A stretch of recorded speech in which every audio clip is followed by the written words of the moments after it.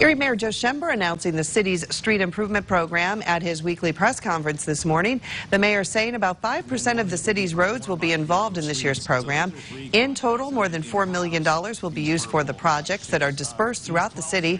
City engineer went on to describe how the city determines which streets will be worked on. Our engineers go out and go drive over every one of the 300 square miles of street that we have out there, and they determine which are worst and which are the ones we need to repave.